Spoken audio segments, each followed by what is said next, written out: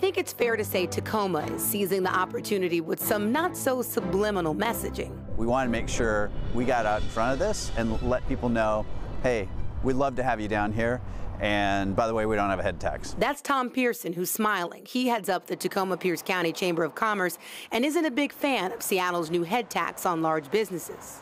What Seattle did is just really it's the last straw for a lot of businesses. And I think you'll hear more businesses that were thinking about going to Seattle that are not going to.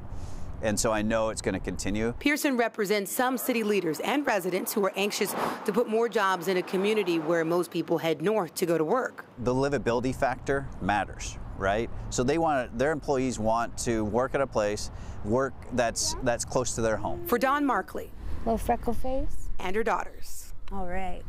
It's been a little more than a decade on the hilltop. Um, we've been in Tacoma for 11 years.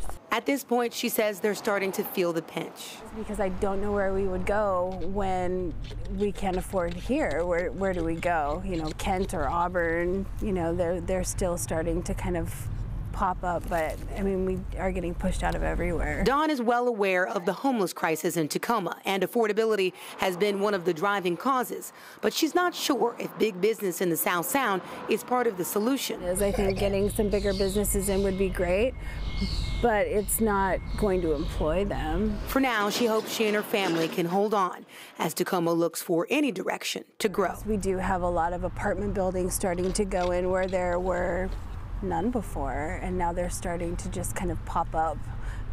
But you still can't afford it. In Tacoma, Jenna Hanchard, King 5 News.